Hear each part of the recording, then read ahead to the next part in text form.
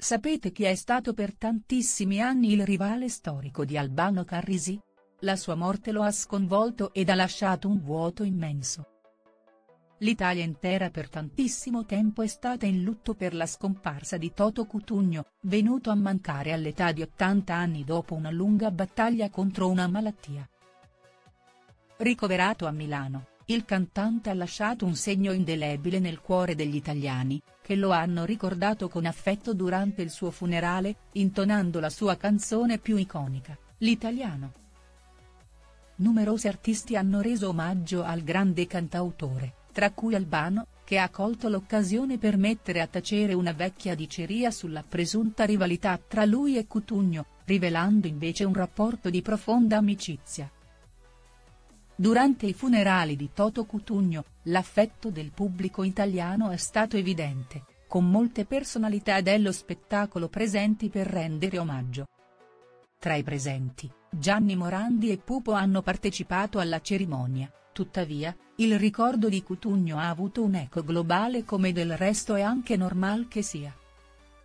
Albano, tra i tanti, ha attirato l'attenzione del pubblico e dei media per il suo intervento, in cui ha voluto chiarire un aspetto che ha condizionato la percezione della loro carriera nel corso degli anni.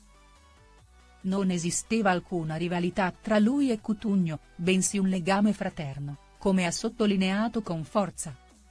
Albano ha spiegato che lui e Cutugno non erano rivali, anche se tutti pensavano lo fossero, ma piuttosto amici molto intimi.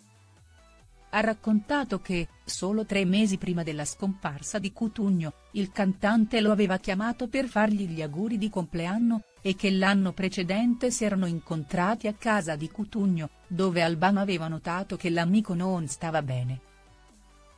Questo episodio ha evidenziato la profonda amicizia tra i due artisti, andando contro le voci che parlavano di rivalità.